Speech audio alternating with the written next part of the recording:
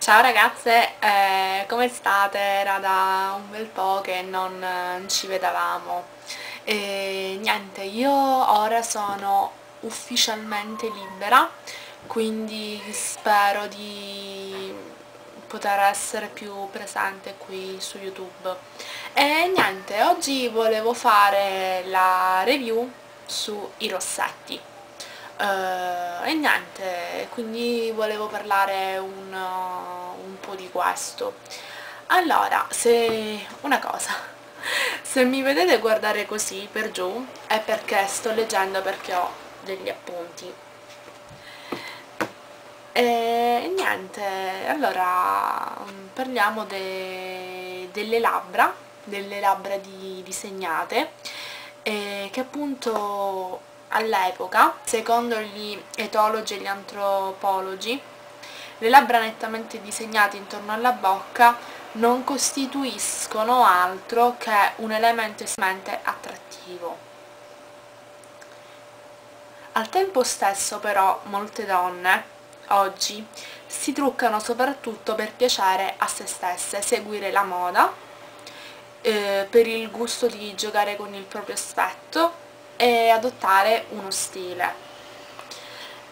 E infatti voglio citare alcune, alcune frasi di, cioè una frase di Diego Dalla Palma e Gil Cagnè che cioè il loro modo in cui definiscono appunto il trucco delle labbra. Allora,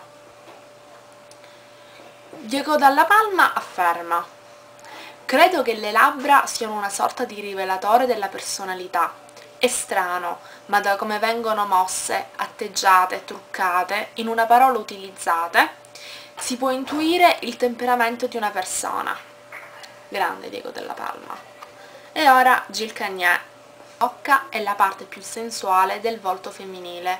Basta un rossetto a dare personalità e carattere nuovo ad un viso cambiando forma alla bocca, anche con la sola matita, cambia persino il modo di parlare.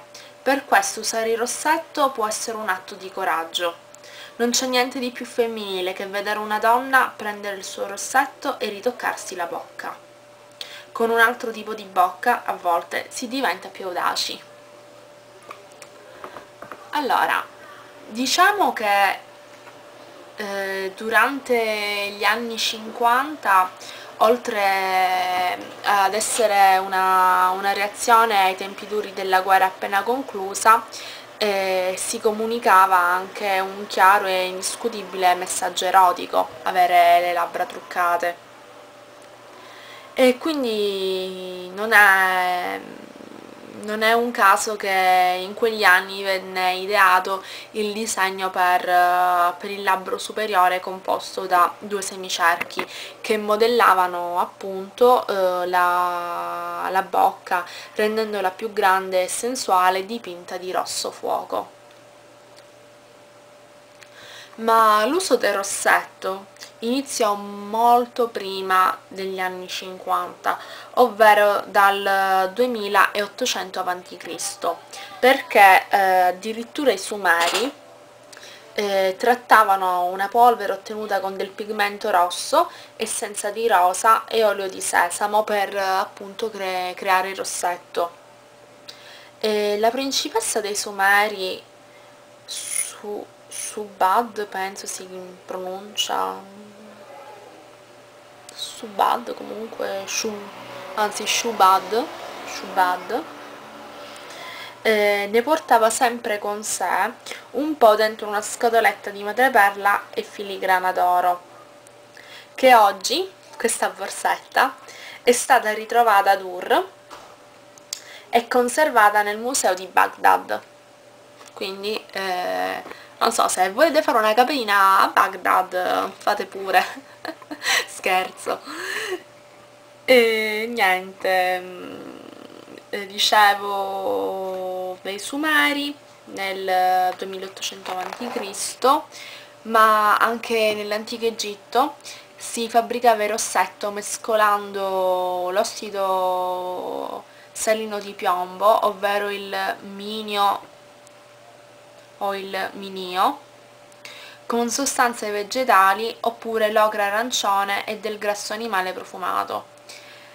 In Grecia invece veniva molto usato il color mattone, sempre a base di ossidi di ferro.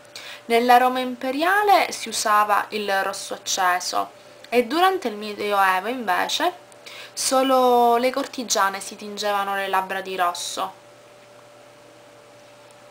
e da quel tempo, quindi dal Medioevo, si usò truccare la bocca in, in modo molto marcato fino a tutto, fino a tutti gli anni, cioè fino a tutto il Settecento. Nel Seicento invece sono state cambiate le regole. Eh, la bocca doveva essere piccola e dipinta con contorni ristretti infatti venne inventata la col, collabo, collabook, spero si pronunci così, o collabush, qualcosa del genere, comunque che era, mm, era una specie di, una cioè praticamente una sostanza, eh, una sostanza stringente che è applicata ai lati delle labbra, quindi qui e qui, e praticamente inibiva l'apertura della bocca durante la conversazione ed il riso. Nell'Ottocento invece le donne si limitavano a lucidare le labbra spalmandole con un composto a base di cera, bianco di balena e olio di rose. E infatti perché questo? Perché in questi anni eh, l'uso del trucco era considerato eh, disdicevole e riservato solo mh, mm, alle donne di, di, malaffare, tipo le prostitute, eh, diciamo in queste, in queste situazioni. E, ehm,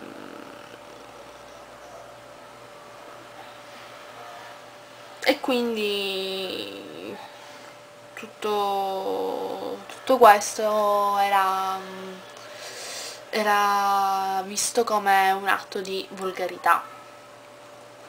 Mentre oggi le cose sono cambiate perché le labbra vanno di moda carnose e i rossetti messi a disposizione dalle case cosmetiche sono moltissimi e diversi sia nella formulazione che nelle tonalità, come molte di voi sanno e appunto si passa dal bianco ghiaccio al rosso lacca, al bordo nero, quelli madreperlati, eh, ci sono anche quelli dorati tradanti, lucidi, opachi, super coprenti, semitrasparenti, indelebili, nutrienti, pollergenici, trattanti, chi più ne ha più ne metta. Molte donne eh, non uscirebbero di casa assolutamente senza rossetto, mentre invece come me c'è chi lo rifiuta. Io per esempio ragazze non, non sopporto la, la, pasta del rossetto al contatto con le labbra, non, non lo so, mi dà fastidio, infatti per me il rossetto deve essere tipo una sensazione piacevole, perché se no niente, non lo, non lo metto. E poi cerco quando, quelle rare volte che lo uso, cerco di metterlo proprio in maniera aderente aderente, non tutto in quel modo pastoso. Però è anche vero che eh, senza rossetto anche il trucco più raffinato risulterebbe povero e incompleto. E il rossetto infatti non serve solo a completare un trucco, ma permette di, di modificare le linee della bocca qualora un disegno non perfetto lo richieda. Accentua la personalità, il tipo fisico, lo stile e tutto questo semplicemente cambiando colore e forma alla bocca.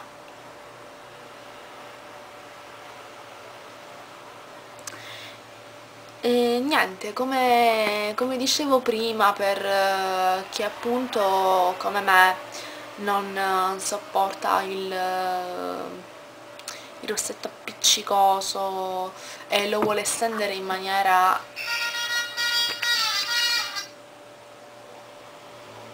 e lo vuole stendere in maniera aderente per evitare appunto che mh, mm, sporchiamo i tovaglioli, i bicchieri o le, o le guance altrui, cosa molto fastidiosa c'è il mio ragazzo che ogni volta ah ma con rossetto, con l'uscita labbra perché? Mi dà fastidio eccetera eccetera. Si sa come sono gli uomini. Quindi è una buona tattica anche per questo che ve la dico subito. Bisogna prima incipriare eh, la bocca. E poi eh, poi passare il rossetto e asciugarlo bene cioè passare il rossetto e poi con una, con una velina di carta tamponarlo sopra le, tamponarla sopra le labbra per levare l'eccesso di prodotto. Bisogna anche mm, sottolineare la bocca con un, con un disegno molto, molto naturale perché sennò appunto le labbra potrebbero sembrare volgari. Anche questo. E niente poi cosa avevo più da dire? Ah e volevo dire anche che come ho detto nella review del blush potete creare il vostro rossetto personalizzato. Come? ve lo ripeto potete grattare semplicemente un po' di prodotto o di fard, eh, di fard, blush oppure di ombretto. Mischiarlo con del lucidalabbra e potete ottenere veramente un uh, rossetto o un gloss molto molto personalizzato. Da abbinare appunto al colore delle palpebre o delle, delle guance e niente, cosa volevo dirvi appunto questo ragazze per capire un attimo da, da dove deriva il rossetto, gli usi, i costumi, la storia. E niente, spero questa review vi possa essere stata d'aiuto. E vi saluto ragazze un bacio. Ciao